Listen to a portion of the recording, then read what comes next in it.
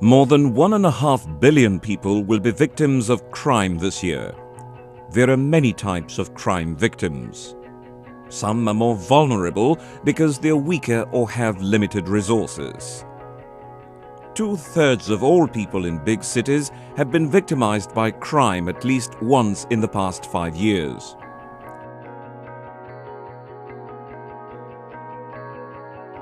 The effects of crime on the poor are particularly devastating.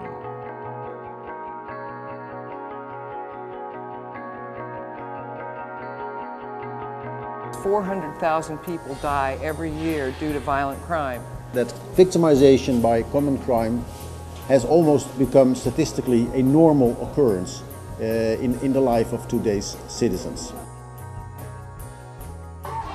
Robbery in Latin America is eight times higher than in Europe and North America.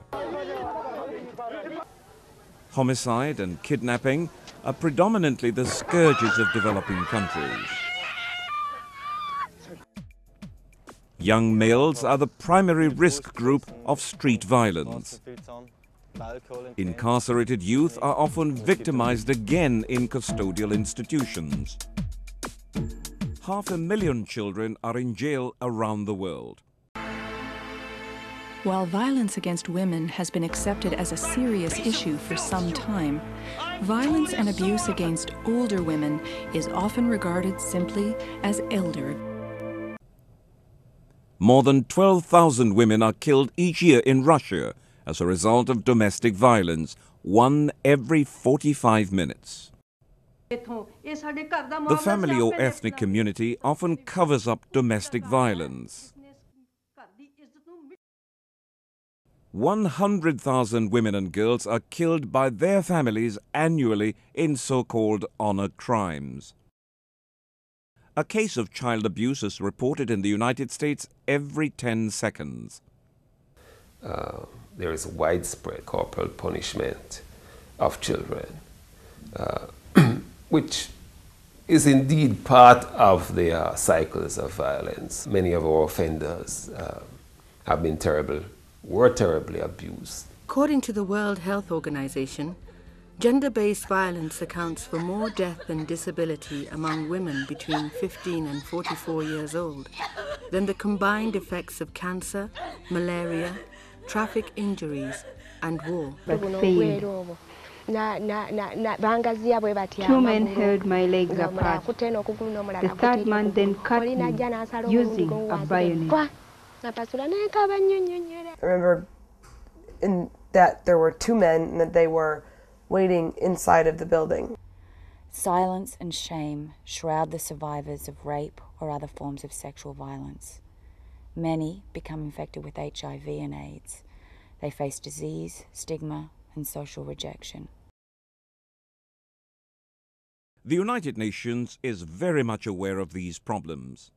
The United Nations has been dealing with different kinds of victims in different forms of victimization almost since its inception. Attention had to be paid to the victims, who had in many countries been referred to as the forgotten people, the forgotten part of the criminal justice system. The Congress in Milan adopted the Victim Declaration, the basic principles of justice for victims of crime and abuse of power. Calling for very concrete action to prevent victimization and also to ensure that there were real services, that there was reparation, and that there were rights for victims in the, in the process. The United Nations Declaration can be reduced to 10 principles.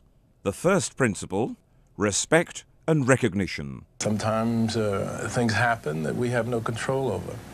But the one thing that we do have control over is our action when we go into interact, interface with a person that has had a bad turn in life. Like the cops really made me feel guilty, and they didn't, you know, in it, in it.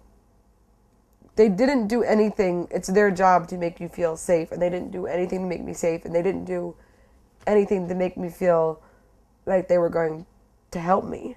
Less than half of those who report crimes are satisfied with their treatment by the police. Second principle the right to receive information throughout the process. Mrs. Ortega. There are people, women, who are trained to help you. With your permission, I'd like to contact one of them to talk with you. The police really didn't give me the options. They didn't give me the options that they should have. And um, that's kind of sad. Third principle allow the views of the victim to be presented. Over the years, collective action has produced tangible and dramatic statutory protections. These include allowing victims to be present, heard, and informed throughout the criminal justice process. It's necessary to do more than the job, and this is to listen to the victim, let him tell the story, let the defendant understand what happened. Fourth principle provide assistance throughout the legal process. Our victim witness specialist was wonderful. There wasn't anything in the world that she wouldn't have done for us. It helped us because it prepared us for some of our feelings that we were going to experience. It prepared us for the trial, things that we could expect uh, if we had to go through a lineup, if we had to testify. And it just really helped knowing that there was someone there in our corner. Victims of crime in Australia are able to give a victim impact statement, but by and large this is a written statement. It's not something that they can deliver orally uh, to show the true impact of the crime. Another uh, negative for victims is that they often don't get much assistance in how to write these victim impact statements.